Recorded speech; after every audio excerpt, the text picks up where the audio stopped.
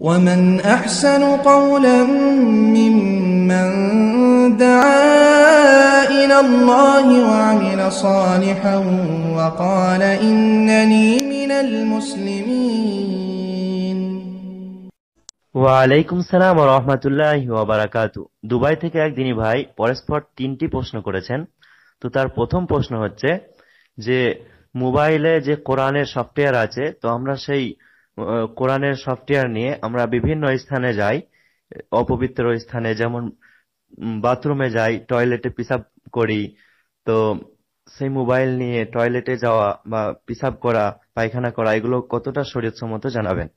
ভাই, আপনি খুব সুন্দর প্রশ্ন করেছেন।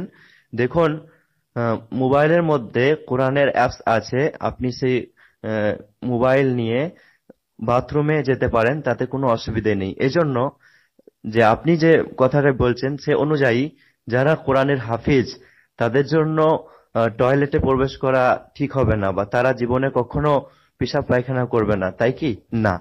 বরং তারা করবে। তো কোরআনে সফটওয়্যার মোবাইলের মধ্যে আছে, সেই মোবাইল নিয়ে আপনি বাথরুমে যাবেন, তাতে কোনো সমস্যা নেই। কেননা তা মোবাইলের মধ্যে আছে, তা আপনি হাতে করে কোরআন নিয়ে যেয়ে বাথরুমে যাননি। বুঝতে পারলেন? যেমন একজন হাফিজ সে পুরো কোরআন মুখস্থ করেছে।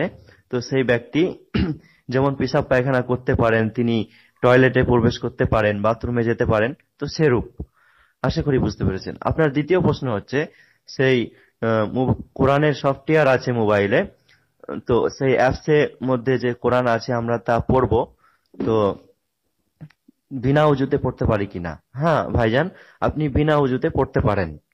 আপনি যদি পবিত্র থাকেন, বিনা উজুতে পড়তে পারেন, কোনো অসুবিধা নেই।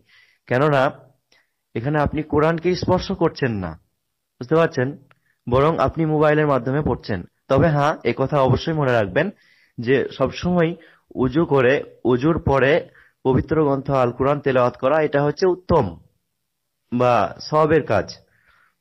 এবং আপনার তৃতীয় প্রশ্ন হচ্ছে যে মানে মোবাইলের মধ্যে কোরআনের আয়াতকে রিংটোন দেওয়া যাবে কিনা। দেখা যায় কোরআনের অনেক আয়াত, বিভিন্ন আয়াতকে অনেক মানুষ রিংটোন দিয়ে থাকে, তো সেটা দেওয়া ঠিক হবে কিনা। মোবাইলের মধ্যে কোরআনের রিংটোন দেওয়া এটা ঠিক নয়। এর কয়েকটি কারণ, যেমন একটা হচ্ছে যে আপনি মানে বাথরুমে গেছেন, পেশাব করছেন বা টয়লেটে রয়েছেন, সে সময় ফোন এলো তো সেই সময় কোরআন তেলাওয়াত হচ্ছে আর আপনি বাথরুমে রয়েছেন। এটা ইসলামে না যায়, হারাম। তাই কোরআনের রিংটোন দেওয়া, কোরআনের আয়াতকে রিংটোন দেওয়া মোবাইলে এটা সঠিক নয়, এটা ভুল।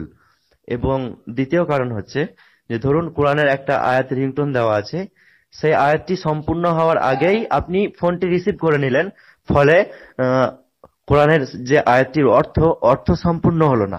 সেক্ষেত্রে আপনি গুণাগার হবেন। এজন্য মানে মোবাইলে কোরআনের আয়াতকে রিংটোন দেওয়া না জায়েজ আশা করি বুঝতে পেরেছেন। জাজাকাল্লাহ